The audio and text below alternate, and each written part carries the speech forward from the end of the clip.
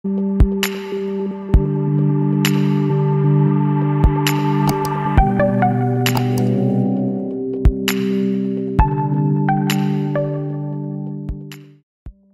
about naked, nudity, strip naked. Interpretation and meaning of dreams about nudity.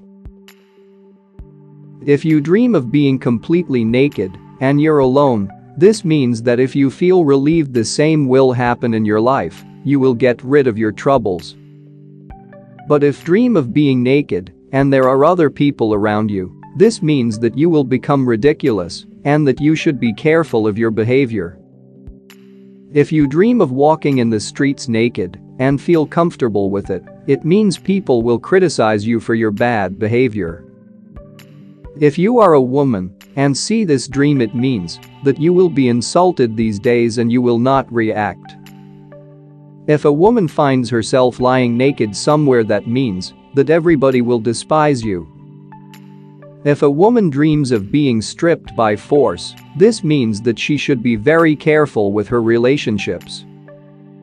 If you are a man and sees that you undress by force, this means that you will be offended. If you see a man naked, it means sadness because somebody plays games with you. If a man sees his wife or girlfriend naked, that means you should be careful because of an accident. If a married woman dreams of her naked husband, this means she will admire the progress made in his work. If a young girl dreams of her lover naked, this means that you will be very sad.